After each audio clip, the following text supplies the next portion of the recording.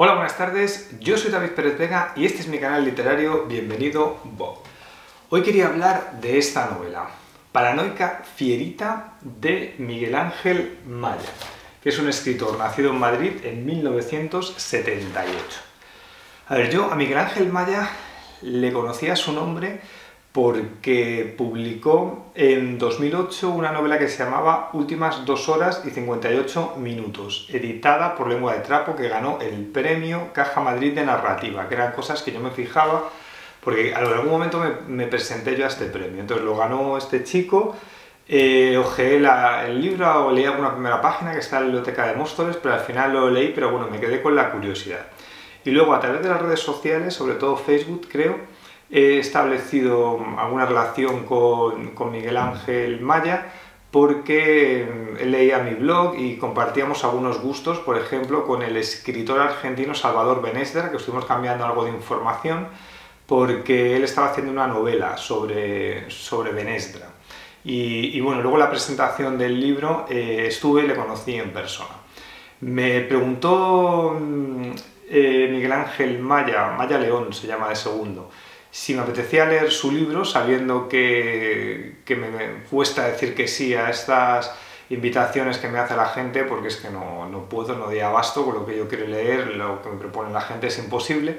Pero bueno, como tenía cierta amistad con Miguel Ángel Maya y además el libro sale, la editorial Carpe Noctem, que es donde tengo yo publicada esta novela, la de Caminar entre las ratas, pues por hacerle un favor a Miguel Ángel Maya, que es amigo, y a los editores, que son amigos también de Carpe Noctem, pues acepté el envío de Paranoica Fierita para leerlo y comentarlo.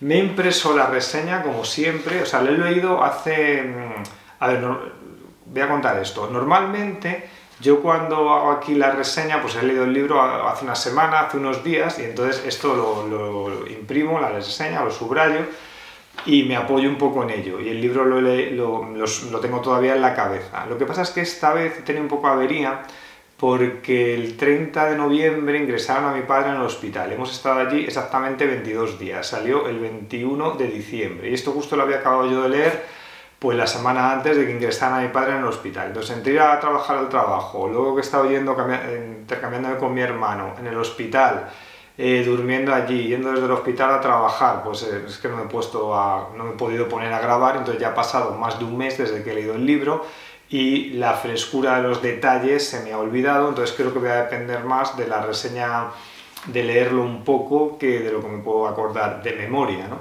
Sobre el libro. Vale. Em, la edición, según llegamos a ella, tiene algunas peculiaridades, ¿no? Porque según abres el libro, por ejemplo, hay unas páginas que está escrito el texto a través de como de la mirilla de una puerta, que es una mirilla antigua. Y efectivamente encontramos como a un hombre, a un narrador, que está mirando a una mujer, la intimidad de una mujer en un baño, a través de una mirilla. Entonces esto está representado en el texto. Es un texto que ya empieza a ser como muy denso, un poco agobiante, con que en vez de tener puntos y seguidos tiene comas, la interjección y, y pasaba no sé qué y pasaba. Entonces el lector ya empieza un poco abrumado. Una vez que pasan estas seis páginas con lo de la mirilla, ya hay una página en negro, o sea, la edición es cara, porque esto de imprimir en negro y todo eso es caro. Y ya llegamos como a un texto más convencional, digamos. ¿no? Cambiamos otra vez de narrador, porque antes he dicho que era un hombre que miraba a una mujer a través de la mirilla, y ahora el narrador es una mujer que entendemos que es esa mujer que estaba siendo mirada. La mujer se despierta como en la habitación de un hotel con un cadáver ensangrentado al lado, que todo indica que ha sido asesinado. La mujer tiene también signos de violencia en su cuerpo, pero no se acuerda exactamente qué ha pasado. Le empiezan a interrogar los policías y literalmente dice, me lanzan preguntas, son eh, cuchillos las preguntas que buscan clavarse en mi carne y en mi cuerpo, pero no me encuentran porque de mi boca ni una sola respuesta sale, ni un solo recuerdo se escapa. Esto es la página 17. El siguiente capítulo, la narradora se traslada cuando tenía 5 o 6 años y vivía con sus padres y su hermana en un pueblo que se llama, dice, en una casa, dice, al norte de San Simón, cerca de donde empieza el desierto. En la narración aparecen el nombre de otros pueblos que son San Hilario, Ruidosa, Candelaira, Las Cruces. He buscado estos pueblos en Google y encuentro, por ejemplo, San Elizario, que es una ciudad de Texas eh, ubicada en el condado del Paso. Toda la imaginería de la novela nos lleva a esa zona desértica fronteriza entre Estados Unidos y México que normalmente asociamos a la violencia. De hecho, yo sé que uno de los escritores favoritos de Miguel Ángel Maya es Roberto Bolaño y el escenario que ha elegido pues nos lleva, le he sacado aquí las novelas, nos lleva, por ejemplo, a la Santa Teresa, esa ciudad de asesinatos y muerte que refleja Roberto Bolaño en 2600 66. Em, de hecho, Bolaño es un modelo constructivo no solo en las ideas de la novela, sino en el lenguaje. Por ejemplo, dice esta frase, una noche la gente del circo se va, lo dejan intacto, como si hubieran sido avisados de una inminente epidemia o sido testigos de algo terrible. Página 19 esta última construcción, lo de testigos de algo terrible, me parece muy bolañesca. es decir, la construcción de frase bolañesca, que es muy poética, siempre en el texto hay como un misterio y una amenaza. ¿vale? Entonces, esas ideas del misterio y la amenaza las está usando todo el rato Maya León en la composición de su texto. Hay un resumen de contraportada que está hecho por la escritora Sara Mesa y dice que esta obra ahonda en algunas de las obsesiones de Miguel Ángel Maya y dice literalmente, el mundo del circo, los rituales que sostienen la vida, la locura, la magia, la perversidad y el mal, el piano como animal mitológico, el cuerpo como topografía del dolor. No he leído las anteriores obras de Maya, como he dicho antes, pero creo que Sara Mesa apunta en la dirección correcta cuando dice que la atmósfera le recuerda a las películas de David Lynch. También hay una violencia y la trama salvaje que yo creo que también podría eh, evocarnos a eh, Quentin Tarantino. Y si quitamos las referencias, las referencias cinematográficas, las referencias literarias, yo creo que principalmente es la de Bolaño. Eh, todo lo más terrible que se puede imaginar el lector ocurre en el texto, es decir, asesinatos, violaciones, eh, pederastia, abusos, violencias de todo tipo, incluso no falta la antropofagia.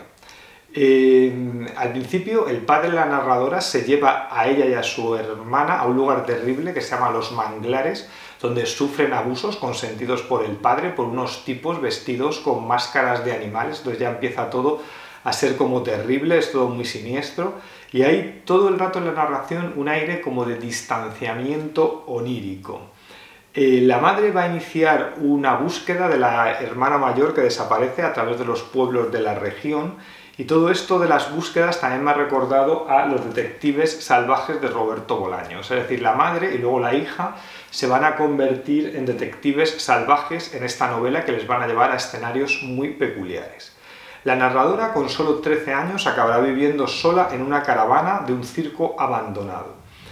Eh, sin contar nada extraordinario sobre el circo ni que resulte mágico, ahí la sensación es que el escritor está eludiendo el relato realista.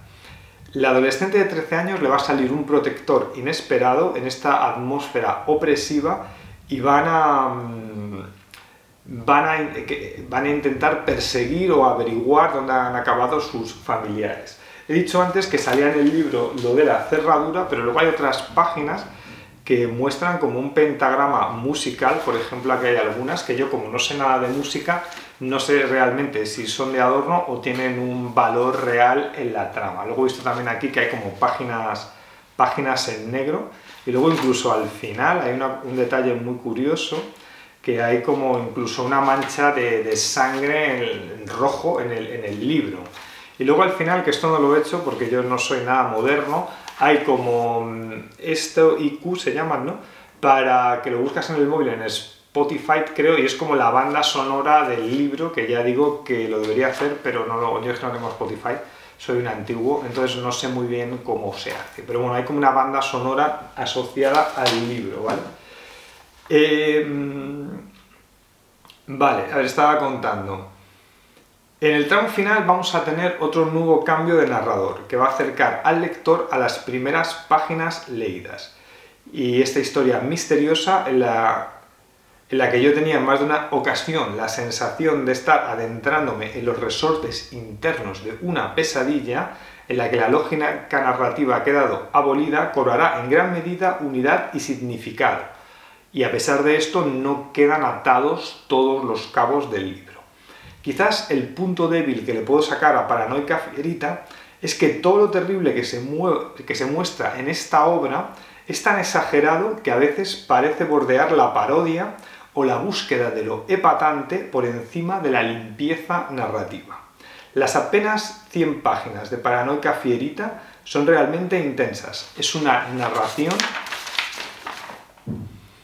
que da más importancia a la creación de atmósferas que a la de una trama clara, aunque ya ha apuntado que sí que acabará existiendo una trama que se mostrará al final de la novela. El lenguaje es poético, misterioso y oscuro. Lo contado es terrible, violento y opresivo.